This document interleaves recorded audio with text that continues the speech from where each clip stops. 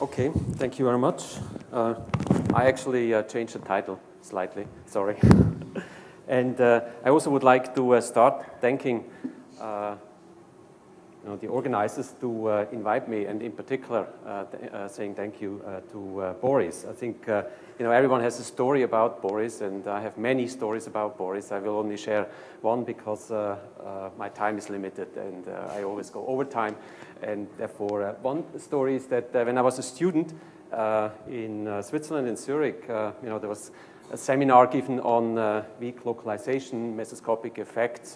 this was quite many years ago. And I remember very vividly uh, when then my uh, PhD advisor came to me and said, these are the papers you need to study. These are the papers and the work you have to start to work on it. And I started to look into it and said, that's impossible. I mean, this has been written by a man, you know, who must be a senior, uh, very, very senior scientist. And it turned out it was Boris. And I think, you know, I, I pictured him at that time as someone uh, doing a work like this, uh, being at the age he is now. And so uh, basically, it's very fair to say that uh, Boris has achieved so many things in, in our field, in, in science, that basically he should have twice the biological age, at least he has now. So Boris, uh, congratulations to your birthday. Uh, thank you very much. You influenced my uh, career path uh, a lot. So uh, my talk here is actually basically a continuation of what we've heard in the first uh, talk and also in uh, uh, Leo's talk. So I might uh, maybe rush over a few things a little bit. Okay, so I also want to talk about Majoranas and maybe if there's time also about some other excitations. I acknowledge my collaborators and in particular uh, Jelena Klinovaja. She's now also uh, in Basel faculty. So the outline here, uh, I will spend a little bit on uh, motivation because I think it's also important to know about the, uh, you know, the prospects of uh, topological quantum computing, which is based on Majorana fermions. then go to nanowires, atom chains, and maybe say something about this. the last part, certainly I will not reach. So in quantum computing, we have basically these days uh, two choices. Uh, you can go the uh, conventional way, as it uh, uh, might uh, be called now, basically using qubits based on two-level systems and manipulate them. Manipulate them to a very high degree, changing for, changing, for example, the direction of a spin by a certain angle, and this has to be very precise. And of course, uh, such uh, schemes are very prone to uh, errors, and therefore the error issue has be, is a very, very important uh, issue in uh, quantum computation. You need to understand how to improve on that and whether it's actually a principal problem or not. And in the beginning of quantum computation, that was a principal issue because it was not clear that you can actually correct an error in a quantum system because uh, for this you need to know. You need to measure. When you measure, you collapse the state, you destroy it actually. But with some clever scheme, it could be extended and it's possible to do error correction. Still, there are thresholds. If the error rate is too high, then uh, you will actually succeed to do error correction. Now, in these systems, uh, like uh, shown here in uh, quantum dots, it's possible because the ratio of uh, coherence or decoherence times and uh, switching times by now is very large. It's, it's almost a factor of 10 to 5 or 10 to 6, which satisfies thresholds for error correction. Therefore, it's possible. And it's also here, I should mention uh, names, uh, you know, certainly uh, Leo was an early player in the field and also Charlie and other people. But from the theory side, uh, definitely uh, Boris, Boris Altshuler, and I think also Leonid here should be mentioned, you know, working on quantum dots before we started then to do work on this, um, uh, focusing more on spin. And that also brought us together for the first time in some program where we had many, many nice stories also in the Swiss Alps. Well, anyway, so I just want to advertise this a little bit and keep that in mind because uh, many people argue now that the new path is a better path, namely topological quantum computing. And why is this so? The uh, idea here is that uh, basically you just uh, need to move in some uh, abstract space your particles around each other, and you can do this in a not very precise way, and therefore the system is much more resilient to errors. And uh, only counting the windings, so to speak, can do the calculation. Now, uh, here again a picture, uh, you move particles around each other, and what is very important here that these particles need to have some non-abelian character, so if you rotate one around two and then two around three, and you change the order, you don't get the same stuff, and this has to do with the fact that your particle must have some internal structure, spinor structure, and when you change uh, the uh, location, then you also mix up the uh, components. so uh, that is the idea behind uh, topological quantum computing. And at zero temperature, if you have a gap in the system, on paper at least, uh, this works uh, nice. However, when you go to real world, this is no longer the case. And actually, no matter how uh, small your temperature is compared to the gap, you will run into the problem that in the end, if you scale up your system, that the probability to get an error, one single error kills you, that you get the probability of order one when you scale up. And this has been ignored over many, many years, and it's only in recent time now that people have started to appreciate that this is really becoming a burning issue. also in the field of topological quantum computing, you cannot do without error correction. And error correction uh, turns out to be a bigger problem because of the non-abelian character. And doing measurement of non-abelian excitations uh, turns out not to be very uh, straightforward. So here are already some first uh, attempts in these directions. And uh, very recently, uh, going now more to uh, the field of Majorana fermions, David DiVincenzo and his group members have shown that actually with the braiding scheme proposed for Majoranas, you have even a worse problem. there is a problem of creating continuously errors. So in this scheme, which has been proposed by Alicea and collaborators, when you move around, uh, in a quasi two-dimensional uh, location. So here there are two Majoranas here, two Majoranas you want to exchange. Then there are two uh, exchange paths from here to here, and the second one from here to here, where in between you do a error correction. Then you will end up with two results which are different. And the problem is that quasi-particle excitations can happen during the braiding. And basically, uh, you know, in terms of a superconductor, you can think of a Cooper pair being taken out of the condensate, split into two quasi-particles. One quasi-particle is trapped and moved away. And uh, thereby, basically, you make a non-local error, a local error to a non-local error. And this happens all the time. And the bigger the system, the more probability that this happens. You will end up with or, uh, order one error. And therefore, uh, this clearly shows that uh, braiding alone cannot be the solution. You need, in the end, also uh, error correction. Nevertheless, it's uh, still an interesting scheme because uh, it might be that certain gates are better controllable than other gates in traditional or in conventional Uh, qubit uh, systems. So in the end, I would say the outlook is that probably we will end, uh, end up with some hybrid systems, uh, and uh, in all systems we need error correction. So error correction, just here as a very, very recent result out of my group here, error correction can be done also for these Majorana fermions, but now look at the threshold. The threshold is just crazy.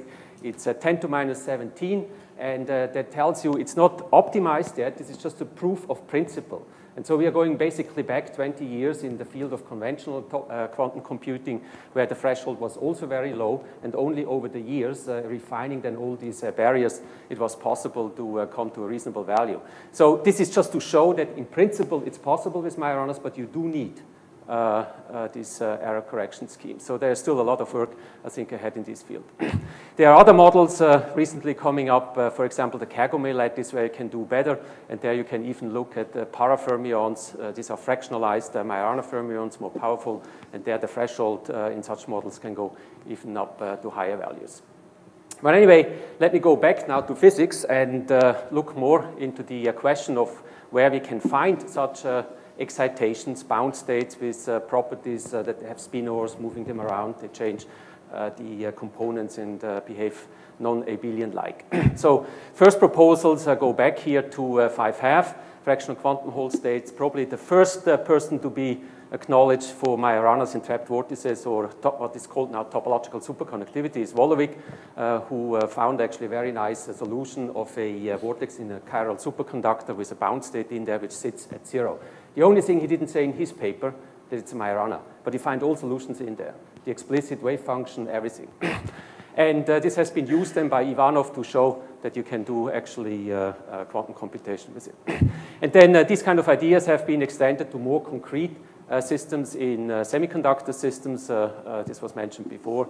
You can extend, and I just advertise this, you can extend the ideas of Majoranas and non-abelian uh, particles also to other uh, uh, bound states. So they are complex fermions. They don't need to be Majoranas. Complex fermions, which you can braid, they can also have actually non-abelian character. So this you find in this work here. Good, but anyway, in solid state, uh, we are interested here now basically to find bound states and uh, uh, bound states which have some internal structure which can be used then uh, in, the, in this context of braiding. So for this, I also would like to mention actually the simplest known bound state, uh, probably everyone should know from his uh, early days of quantum mechanics, goes also back to a Russian scientist, to uh, Tamm, and that's the Tamm surface state. And here is the simplest model, and this model contains actually very much of the physics which also uh, creeps up then in the uh, Majorana physics. So here's a hopping Hamiltonian on a lattice, uh, can be spinful or not, and there's a periodic modulation on that lattice uh, indicated here by these uh, blue uh, bars. And if the period is chosen to be commensurate or the same as the Fermi wavelength, so have the Fermi wavelengths, we get Bragg reflection, gaps open, and or a Peierls gap uh, opens, and uh, within that Peierls gap at the end of the chain, we can get bound states. This depends a little bit on the phase uh, of the potential. If the potential starts with a positive uh, value, of course, then you won't get the bound state. If it starts with a negative value, then you get the maximum of the bounds in the middle of the gap. So here's a spectrum. You just put it on a computer, diagonalize that, and here is the wave function localized left and right hand here. There are similar models which are more complicated, like the Su Schrieffer Heeger model, but I think that's the simplest one. And now take of this model the continuum limit and uh, linearize the spectrum. So you take the continuum limit and you linearize around the Fermi points, and you end up with the Jackiw-Rebbi Hamiltonian. That's kind of surprising. It's very simple uh, model to start with, and you end up with a class of uh, Hamiltonian which uh, basically is at the heart of all these uh, topological phases because there is a mass term in there which changes its sign at the origin. And whenever you have uh, a Dirac uh, uh, Hamiltonian with a mass-changing term, tau refers to right and left Gower basis, and this mass term is related to the periodic potential, changes sign at zero. You get a soliton there, and inside the soliton, Landau-Lifshitz, you know, you can find a bound state. And uh, this soliton or this bound state uh, in there has even fractional charge is a uh, E over 2. So this kind of uh, system is also interesting. Uh, here's the spectrum of this uh, bound state. The wave function looks like a Majorana wave function, by the way. And here we have the charge density wave gap, and the bound state can lie somewhere in between. The bound state moves as a function of this phase of the potential. And uh, if that uh, phase is positive, as I said in the beginning, then uh, the bound state moves out into continuum. If uh, you start with a minimum, then it moves in the middle of the gap, and there you have particle hole symmetry. And the big difference now of this state is that this state is not stable. So very small fluctuations will change the uh, energy, and uh, in terms of quantum computing, that's not good, because then you would have a state, if you have a superposition of these states, where the phase would fluctuate, and that leads to dephasing. So that's actually uh, one goal uh, in this field, to look for systems which have some stability against particle hole excitation such that you get a state which is pinned. It doesn't really mean that you need particle hole symmetry, but just some symmetry which pins the energy. So this leads then to, uh, for example, to Majorana fermions. There are some systems where you can see you get a direct transition, just changing parameters from such uh, complex fermions into a Majorana fermion. Now, a Majorana fermion, it has been uh, said here now very uh, uh, elaborately this morning several times, uh, has basic ingredients, S-wave superconductivity, and a spin texture. The spin texture is actually also well known uh, can be provided by many different things, for example, uh, by uh, you know, domain walls of ferromagnets attached to a superconductor that, that gives you a situation like this, or spin-orbit interaction, rotating Zeeman field, uh, and so forth. And another uh, mechanism which I will elaborate on later then is the uh, RKKY interaction in one dimensions, which also can lead to a spin texture. So again, here the spectrum, the simple uh, Rashba Hamiltonian, which uh, has only an effect if there is a magnetic field opening a gap. If there is not a magnetic field, then you can gauge away the uh, spin orbit, at least in infinite uh, uh size 1D system. It has absolutely no uh, effect. And this is what we call then a helical uh, spectrum. And as Leo pointed out, it's actually not so easy to measure that gap Uh, it would be nice uh, with uh, spectroscopic methods, for example, or for example, when you couple it to a uh, uh, to nuclear spins, Korringa laws, density of states change, and so forth. there are some proposals to look for it, but it's still an open question. So the experiments have been mentioned based on this system here. And uh, how do we find, uh, is actually a recipe to find bound states. And to some extent there is one, uh, the recipe is you need two mechanisms which open a gap in your system, and these two mechanisms need to compete with each other.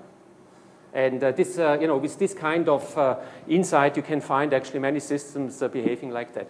Here in this uh, standard model, what is the uh, competition? It's the competition between the Zeeman gap in the Rashba competing with superconductivity.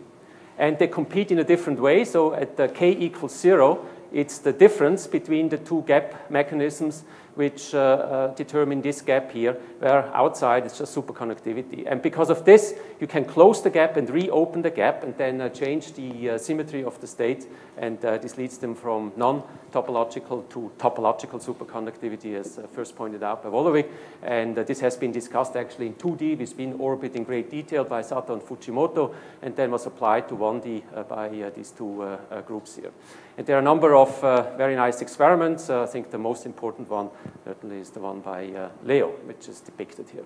Now, let me uh, tell you a little bit more about the internal structure of a Majorana, because this turns out to be a very important uh, ingredient for later. so here, uh, again, there is this uh, Rashba spectrum.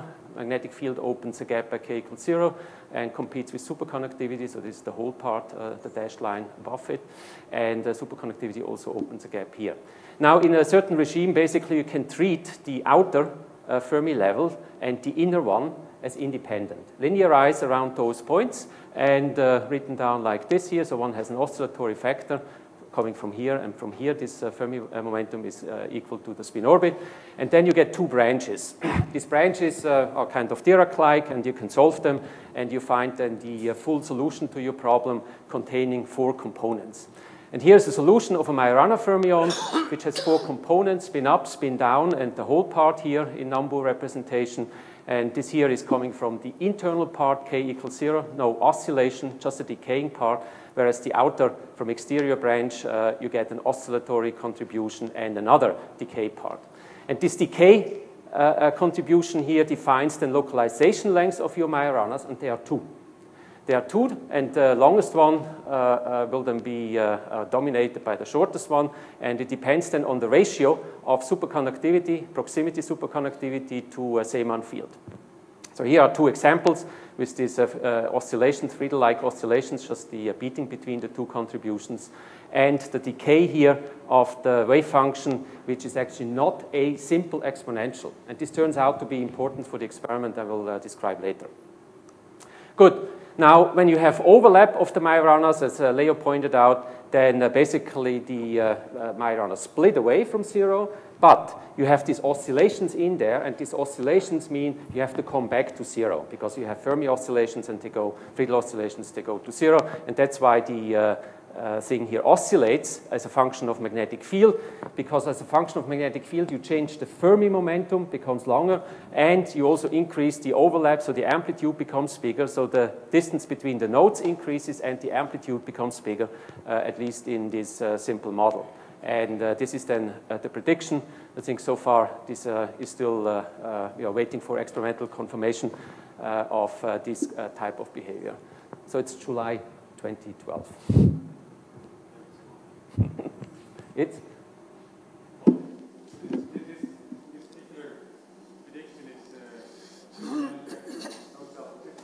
no self-consistency, yeah. yeah. Right, right. Well, okay, to some extent, yeah. okay, good. Uh, Charlie saw some uh, oscillations in his data, uh, Churchill et al., and uh, these oscillations, they plotted uh, on this uh, uh, curve here. This is the red one. If you compare, compare this now with the simple Majorana picture I just showed before, then definitely they do not agree. So the oscillations seen in Charlie's uh, earlier experiment, they must come from somewhere else. We still don't understand this. It might be orbital uh, oscillations coming from orbital degrees of freedom, higher bands, or so forth. Good.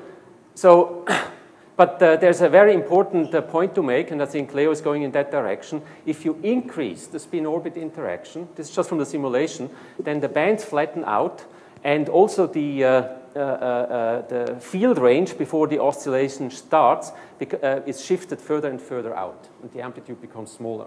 So this could also mean that if you have large spin orbit, several milli-electron volts, here we assumed about 5 MeV, then the oscillation is also suppressed and it takes longer and longer to get it visible. So maybe Leo, still waiting. Okay, good. So it's difficult uh, to measure that gap directly, uh, but uh, we hope. Is spin-orbit interaction a necessary uh, ingredient in this story? And uh, no, because uh, as Leonid already pointed out this morning, you can make it actually by yourself. And basically, this is based on a simple gauge transformation.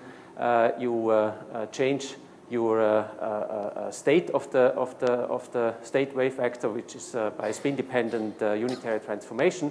And that transforms a spectrum of Rashba type into a spectrum like this, where you have now a rotating field, a Zeeman field like this, with the pitch uh, given by the spin orbit uh, lengths, and the two parabolas are on top of each other, where half of the spectrum is gapped here. It's not completely equivalent from an experiment, experimental point of view. If you start with this one, then this is somewhat simpler to couple to because you don't have this problem with uh, tunneling uh, of states from the lead into the system. So here's an example. Uh, if you use the separation between nanomagnets to create such a uh, rotating magnetic field, then this distance between the nanomagnets defines this uh, KSO, and therefore you can see you can get uh, very easily on a scale, if this is 200 nanometers separate, which is easy to do these days, you get a spin orbit uh, scale of uh, tens or even 100 uh, MeV in some extreme limit. Okay, now I come to the last type of tuning, and that is the following problem, and Leonid already alluded to this. In the game which we play here with the Rashba uh, uh, gap, the spin-orbit interaction is a fixed parameter. Also, the Fermi energy typically is a fixed parameter. That means the density of your system. And what you have to do from an experimental point of view, you have to tune your chemical potential such that you are inside this gap. So you deplete your system, you apply very high voltage, and uh, because typically the spin orbit is, uh, is small, you have to go very low, very low in the density, you go down to the bottom, and of course, if there's disorder, then uh, your system will be very uh, sensitive to that. So this prompts the question, is it possible to get a system which you don't need to tune, which does it basically by itself, uh, the uh, Fermi level given, and the system opens its gap, its gap around the Fermi level. And this is what I would like to uh, convince you now that this is indeed a uh, way uh, systems can choose in one dimension. So here, it's, uh, for example, if you have a uh, magnetic uh, helix, then as I showed before, you open this uh, partial gap. And now it's possible that, or it's, it's a fact, that this helix acts back on the system, and that's the reason why it opens a gap. And that leaves then half of the modes open. And uh, the question is, can this also happen in a system with superconductivity in there? So where the carriers actually are uh, decaying on a, on a certain length scale, uh, the correlation lengths. By the way, this is an effect which we believe uh, has some uh, uh, experimental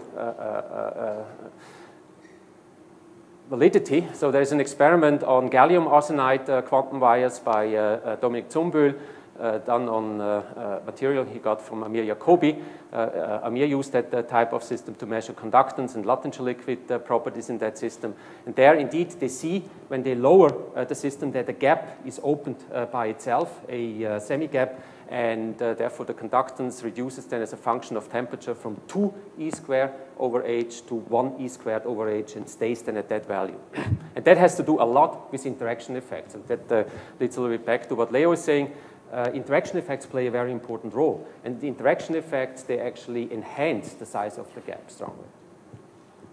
But anyway, uh, in recent years, uh, people have started to look into artificially man-made chains on the surface of uh, some materials. For example, here is an example from Wiesendanger's group in Hamburg, where they looked at uh, iridium and placed gadolinium atoms uh, one by one, or basically by sputtering, they self-organized, on the surface.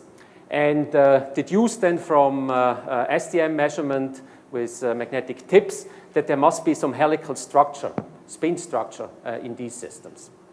And this formed, I think, kind of a motivation for a number of people to look into this and uh, Leonid uh, talked about that uh, experiment by the Princeton group, Ali Yazdani's experiment, where they basically did the same but uh, they took lead and put uh, iron on top of it, and uh, lead uh, goes into a superconducting uh, phase below 9 or 8 uh, Kelvin. And now for this system, I would like to present now in the remaining time some alternative scenario which differs slightly from what Leonid told you this morning.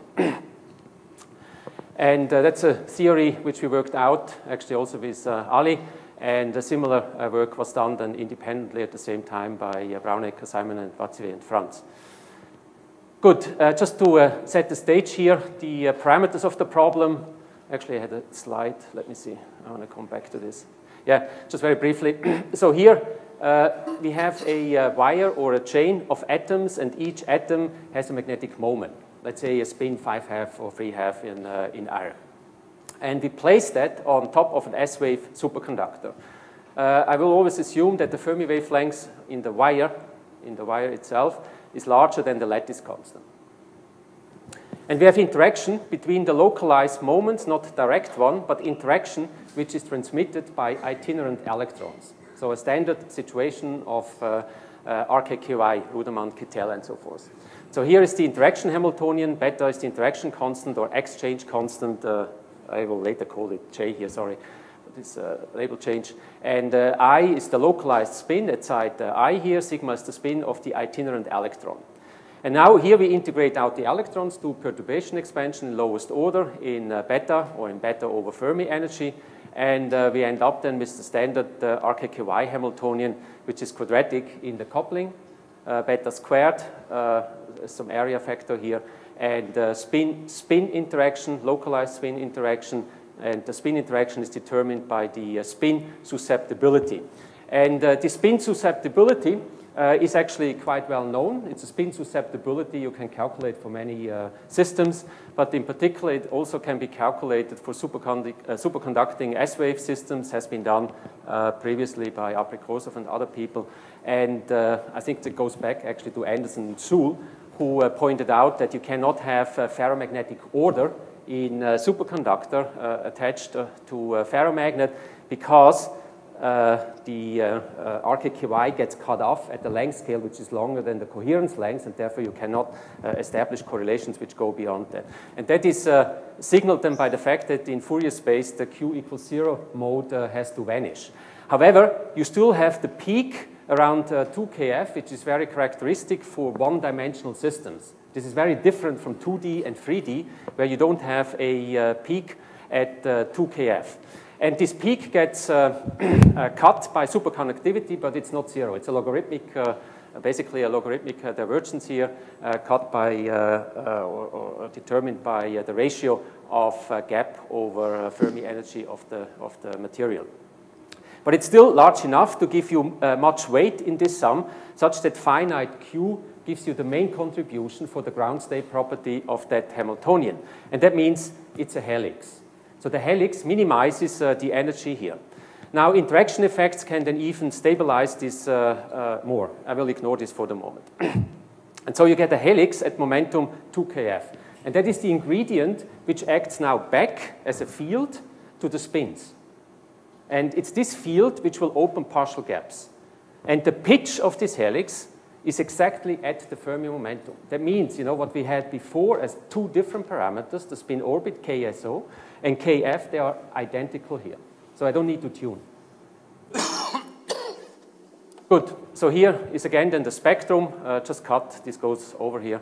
And uh, I see then the partial gap uh, opened at the 2 Fermi momentum. And uh, this uh, is then basically the, playing the role, this delta M, uh, this field produced by the helix of uh, the Zeeman field. I get competition between superconductivity and this uh, helical Zeeman field, and uh, I can go into a uh, topological phase.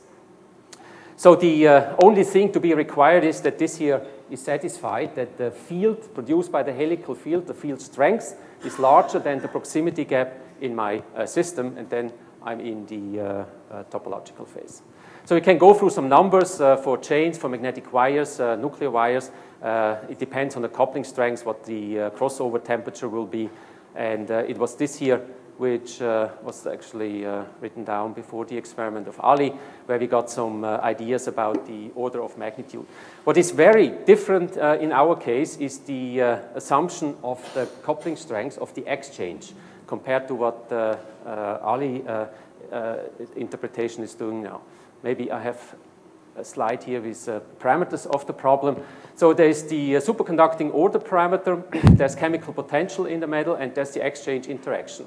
There's tunneling, tunneling inside the superconductor, tunneling inside the atomic chain, and between the uh, atomic chain and the superconductor. And our limit here is that uh, the tunneling between the, uh, uh, between the superconductor and the chain is a small parameter, is small. So it's a weak coupling, and uh, the uh, tunneling within the chain itself, and of course within the superconductor is a larger parameter, and the exchange is much smaller than the chemical potential in the, in the superconductor. So this distinguishes us from, uh, from uh, this morning's talk of uh, Leonid, they work more in this limit here. Good. Now let me come to some experiments. So just to say, you know, there, there are DFT calculation to this early experiment by the Wiesendanger group, and uh, here this gives you values of this uh, effective uh, RKKY interaction, if you interpret like this, which are also in this milli electron volt range, not electron volt range. Good. So uh, you've heard about uh, Ali's uh, experiment. I will basically jump over it because it's interpreted in terms of Shiba states and tell you about a similar experiment which was done in, uh, at my university in the group of uh, Ernst Meyer, where basically they did the same. They also took a uh, lead and put iron on it, forms self, self-organized chains, which are depicted here. There's one additional experimental feature which they could measure in, uh, in Basel, not measured elsewhere, is uh, uh, AFM, atomic force microscope of the chain. And you see here a picture of a iron chain on that uh, surface. Just to uh, tell you, this is a uh, very, very nice tool. So for example, here uh, I have a picture from uh, Ernst uh, where they measure, for example, an uh, atomic force microscope of a graphene nanoribbon, and uh, here, for example, a boron-doped uh, graphene nanoribbon. So you get very atomistic resolution with an AFM. And what you see here is indeed a single atom. now, here coming back to lead 110 surface, and then, you know, here's the recipe how you do it. And you get these rows of, of lead and uh, then uh, you measure the uh, uh, gap in the system. So this is a measurement, uh, STM measurement of uh, the gap, and that allows you to deduce then a value in lead on the order of one milli electron volt. And then you put iron on, on the system, uh, and with some annealing uh, trick, then uh, they get this kind of many, many irons, and with some chunk, they believe this is lead on top of these iron wires. So here's now a picture of uh, uh, STM, and there are two types of wires, one where you see a kind of a uh, blob at the end of the wire and uh, some wires without, and uh, here uh, the trace of that. And you also, they also measure then, of course, the, the IDV of this blob and see a zero bias peak emerging here in the middle.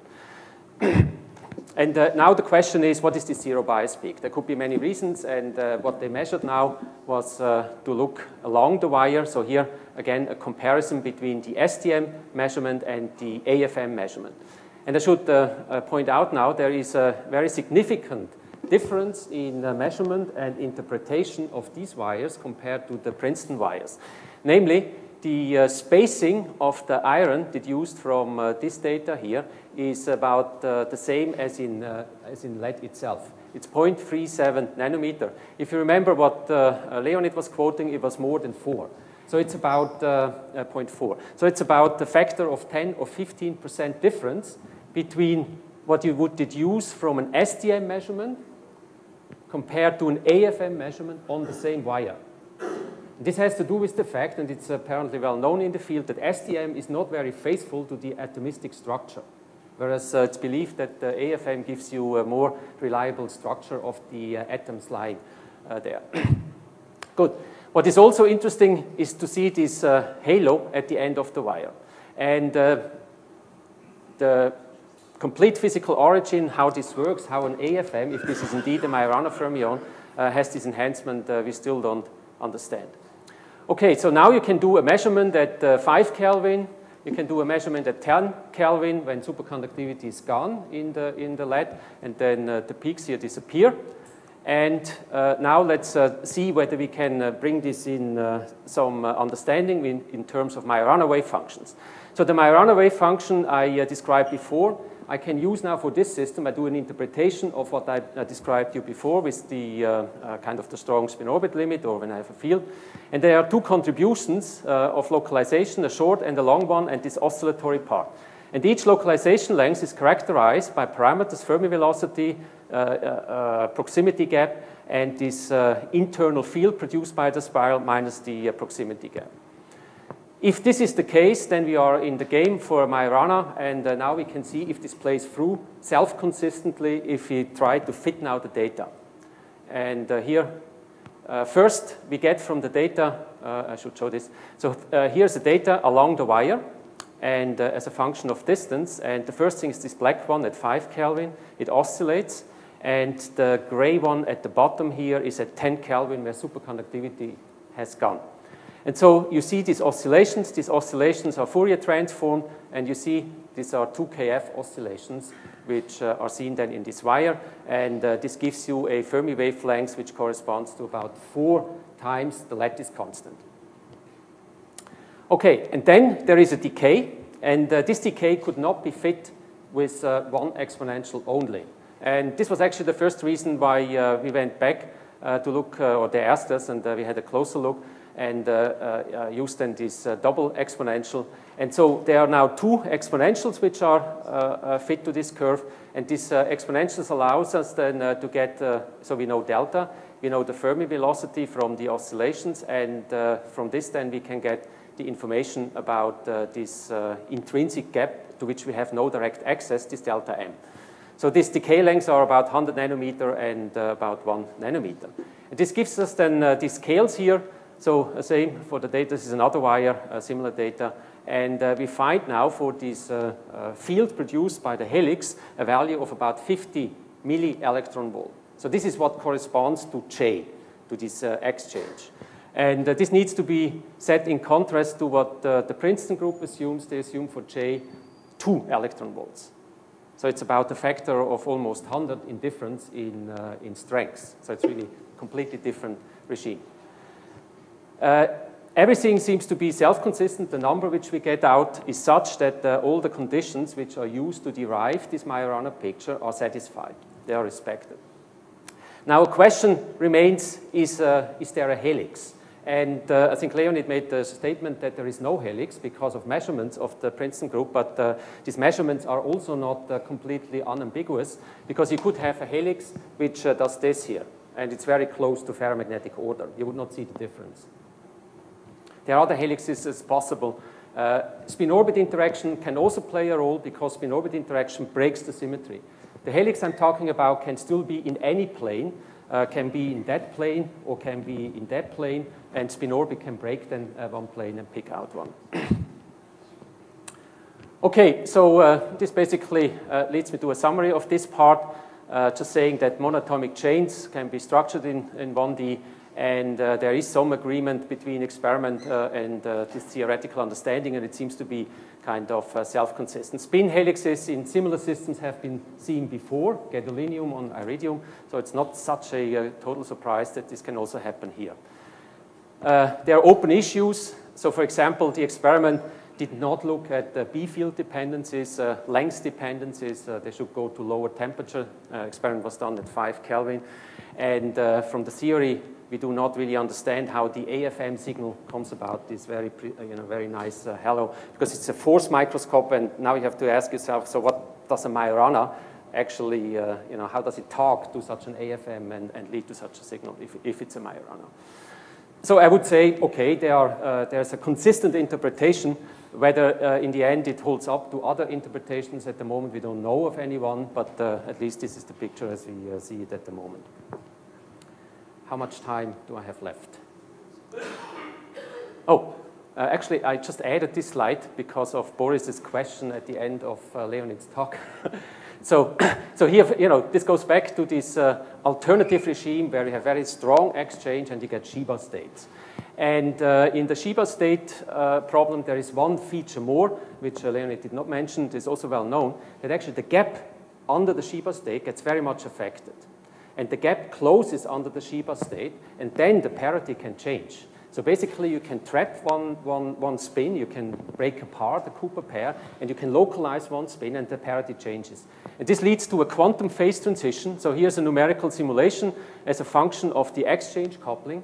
And uh, for a long time, uh, you know, not much happens to the gap. So you, this you can actually uh, treat analytically, as was done earlier by uh, Rusinov and other people.